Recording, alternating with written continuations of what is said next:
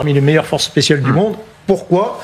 Ça, c'est à quelques kilomètres euh, de euh, maximum d'unités de, israéliennes, ce, ce, ce point-là. Pourquoi ils ne sont pas allés, quitte à avoir euh, trouvé cet objectif, au lieu de frapper, de balancer des bombes puissantes, hein, ça doit être des bombes d'une tonne qui ont été balancées là, là-dessus, allez-y, envoyez des, envoyez des soldats Hmm. prendre des risques et aller, et aller traquer ces gens-là. Que répondre à ça Qu'au fond, des commandos pourraient agir et qu'au lieu de ça, on fait charger la, on- on- la, la charge du danger sur tant de milliers à l'arrivée de civils palestiniens? Bon, tout d'abord, on, on voit l'immeuble et c'était pas des bombes de- d'un tonne qui Ah, étaient. L'immeuble n'est pas écroulé. Il y avait probablement trois, trois munitions de précision avec un charge, euh, charge explosive assez faible.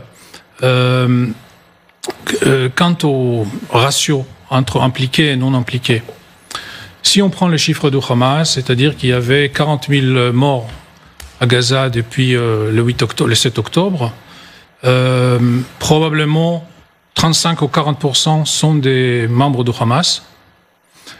Quelques milliers sont des gens qui sont morts de mort naturelle parce que ce sont des listes de morts à Gaza, toutes causes confondues.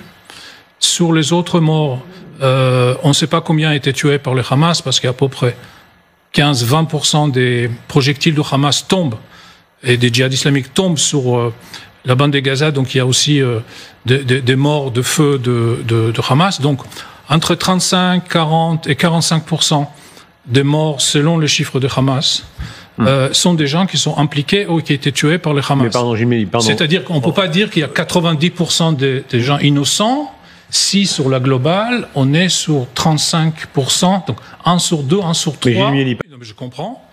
Euh, je dis juste que euh, si on regarde globalement le- les chiffres, même si on, on prend les 40 000 et les 15 000, c'est pas 40, 90%.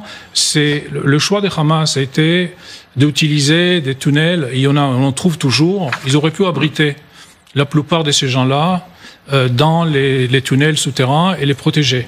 Euh, on sait, c'est Khania qui a dit lui-même, ils l'ont pas fait parce qu'ils ont besoin de morts palestiniens pour euh, huiler leur effort euh, diplomatique. Donc plus il y a des morts, plus il y a des enfants morts, plus ça sert la cause euh, de Hamas. Est-ce que c'est une manière, on voit les